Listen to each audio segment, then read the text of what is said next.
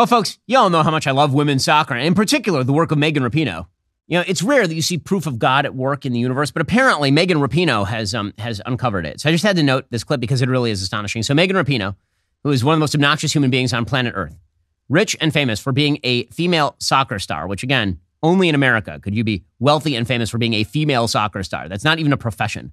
In any case, Megan Rapinoe, um, she um, she was injured in another one of her farewell games. I thought she was gone already. When did she leave? She's mostly famous for yelling about how America is terrible and kneeling for the national anthem because she's a lesbian or some such nonsense. And um, she uh, she was injured in this latest championship that no one had heard about until she started jabbering about it. And uh, she talked about her belief in uh, that that atheism has been proved by by the bad things happening to her. Here we go. This is a long one, although I'm I'm gonna get the Aaron Rodgers treatment, whatever that is. Um, so I'm gonna be calling him or whoever did his surgery because we need to speed this up. But yeah, I thought about it a little bit. I mean, you know, I'm not a religious person or anything. And if there was a God, like this is proof that there isn't.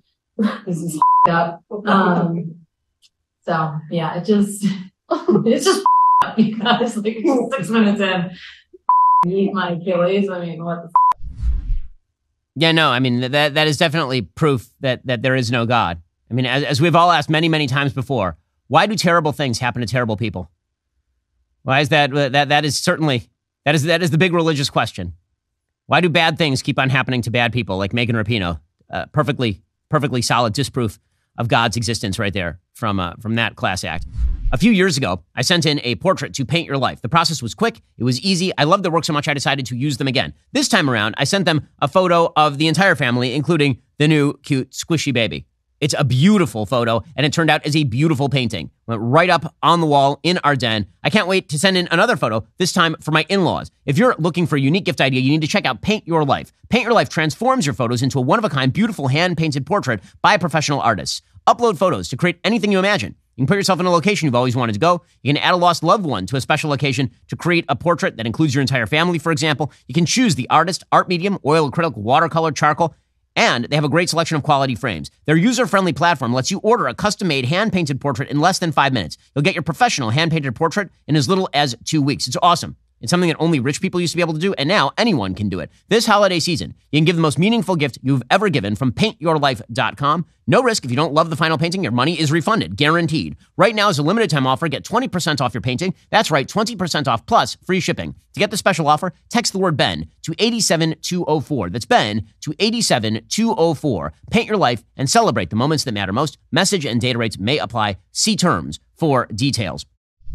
Let's talk about the October 15th tax deadline. So it already passed, right? You can look at the calendar. I know might, many of you might be dreading the stress of filing your taxes. Filing those taxes can be a long, excruciating process. But if you fail to file, it's going to get even worse. You're going to start to pile penalties on your tax debt. That's why you need to check out Tax Network USA. The team at Tax Network USA has a track record of success. They've reduced tax debts for numerous clients totaling over a billion dollars. Whether you're looking at a $10,000 or $1 million tax debt, they can help you with a settlement. It doesn't matter if you haven't filed in a year, five years, even a whole decade. Tax Network USA is equipped to secure the best settlement for you. Their expert attorneys and tax professionals can help resolve all tax cases, no matter how they started. Don't let tax debt control your life any longer. Take that first step toward resolving your tax issues by visiting taxnetworkusa.com slash Shapiro. That's taxnetworkusa.com slash Shapiro. Again, Tax Network USA is going to help you get out of that debt you owe to the IRS. If that starts to pile up on you, it's going to ruin your life. Save your own self by going to taxnetworkusa.com slash Shapiro. That's taxnetworkusa.com slash Shapiro today. So remember that time that Kevin McCarthy, the Speaker of the House, was ousted for no reason that anyone could really discern by Matt Gaetz and company? He was really bad. You, you remember, and, and no one could really explain why he was really bad. Supposedly, it was because he was cutting deals with Democrats and spending too much money and signing on to continuing resolutions and all the rest. Meanwhile, many of the people who had rebelled against McCarthy had voted against better versions of continuing resolutions that McCarthy was trying to negotiate. And it was all really stupid. And then we waited several weeks, like five weeks. And then finally, there was a new Speaker of the House. And the new Speaker of the House is great. I like Mike Johnson. I'm a big fan of Mike Johnson. I'm just going to point out that Mike Johnson is preparing now to pass a continuing resolution that looks exactly the same as the continuing resolutions that Kevin McCarthy was passing. Maybe, maybe more, maybe bigger, maybe bigger spending. Why? It's not because Mike Johnson is not conservative. It is because the incentives are not aligned. The stars are not aligned. The political votes are not aligned in favor of a hardcore conservative agenda when you have a Democratic Senate and a Democratic president. and a slim majority of what, eight seats in the United States Congress. And so this whole idiotic thing about let's get rid of McCarthy, we'll get somebody else, and that'll change the entire magical structure. It, it, it's changed literally nothing. According to Breitbart, the House is under new management, but is operating under business as usual as it prepares to pass a continuing resolution that once again extends spending levels and policies pushed through by then Speaker Nancy Pelosi in last December's lame duck session.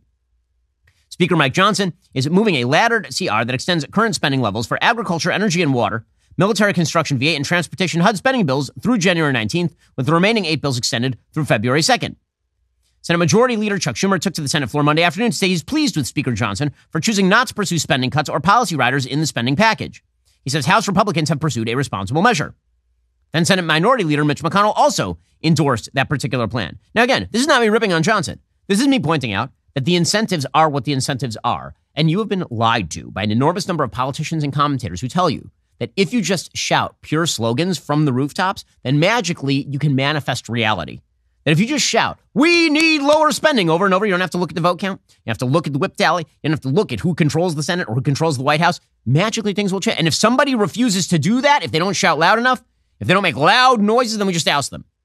Unless it's Mike Johnson, in which case I assume Matt Gaetz is going to sign on to this because Matt Gaetz fired his bullet and he hit Speaker McCarthy. And now there's Speaker Johnson because of Matt Gaetz. And there's no market improvement in the actual legislation because, of course, there is not going to be market improvement in the legislation. The constituency of the House is what the constituency of the House is. Representative Chip Roy, who's been absolutely consistent and good on this stuff, member of the Rules Committee, one of the most conservative members of the House, held a press conference Monday, and he said, We got nothing. He said, Speaker Johnson continues to perpetuate the very system my constituents sent me here to oppose. They don't want me to continue spending money we don't have at $1.6 trillion spending levels, Pelosi spending levels. Other conservatives joining Roy in the opposition included Representatives Marjorie Taylor Greene, Tim Burchett, and Andrew Clyde of Georgia. While continuing spending set by Democrats, Johnson's clean CR does not include supplemental spending requested by the Biden White House that included billions in foreign aid for Ukraine, Israel, and Taiwan, as well as a few billion for the border. It's unclear exactly how funding is going to get passed there because Joe Biden continues to insist that funding for Ukraine be connected with funding for Israel, which again is an idiotic proposal because these are two very different wars. By the way, I support continuing to fund Ukraine in its war against Russia if there's an actual endpoint and because you got to prevent Ukraine from falling to Russia. That does not mean that the endpoint in that particular war is, is similar in any way, shape, or form to the endpoint in Israel's war on Hamas in the Gaza Strip. Biden insists on linking the two. But the House continue again, the incentive structures just do not align. Thomas Sowell famously suggested correctly that when it comes to decision making, the problem is generally not the decision maker. The problem is generally the decision making structure. And that decision making structure means you can't expect that Mike Johnson is going to magically be able to ram through a budget cutting device. It's not going to happen. Are you tired of the lies and the twists of the mainstream media talking points? Yeah, me too. Join me in my newest series, Fact, where I dismantle and bring truth to this tiring mainstream agenda.